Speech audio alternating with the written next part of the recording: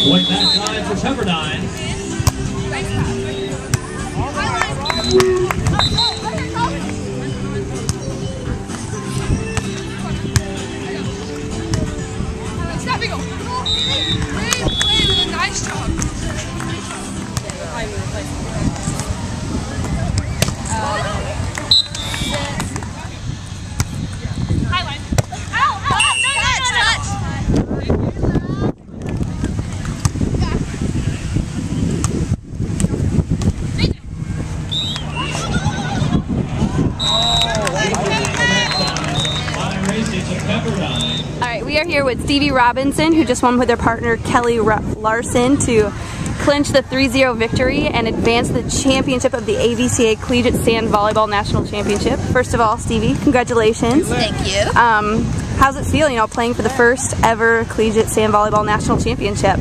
Um, it's amazing, especially since it's my senior year, and you know, I thought I'd be done after indoor, and now I get to be out here in this, and it's just freaking awesome. I cannot say anything better. Had a little bit of a shaky start today against the College of Charleston, but you pulled out the win um, and then just cruised through this last match against Long Beach State. What did you and Kelly do to turn it around and get back on track? Um, we just went back to the room. and We kind of just thought about everything. You know, we were like, hey, it's a warm-up match. Get over it. We pulled out the win, figured it out. We both we both knew that we didn't play how we've been like playing lately, so we came out to Long Beach and we were like, you know what? Let's just have fun. Let's laugh. Let's giggle, and let's just have a really good time. Well, great. Well, thanks so much, Stevie. Good luck in the finals. Thanks.